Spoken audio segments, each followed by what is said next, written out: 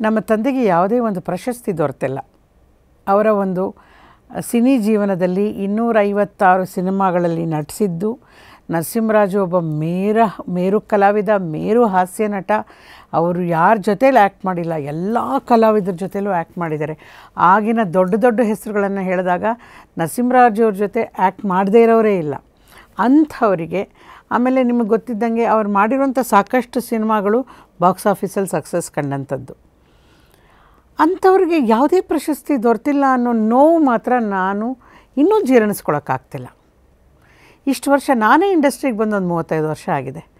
ಈ ಮೂವತ್ತೈದು ವರ್ಷಗಳಲ್ಲಿ ನನ್ನ ನೆನಪಿಗೆ ಉಳಿದ ಹಾಗೆ ಎಲ್ಲ ಕಡೆ ಪ್ರಸ್ತಾವನೆ ಮಾಡಿದ್ದೀನಿ ನಾನು. ದಯವಿಟ್ಟು ನೋಡಿ ಈ ಥರ ನಮ್ಮ ತಂದೆ ಹೋಗಿ ತುಂಬ ವರ್ಷ ಆಯಿತು. ಅವ್ರ ಹೆಸರಲ್ಲಿ ಏನಾದರೂ ಒಂದು ಮಾಡಬೇಕು.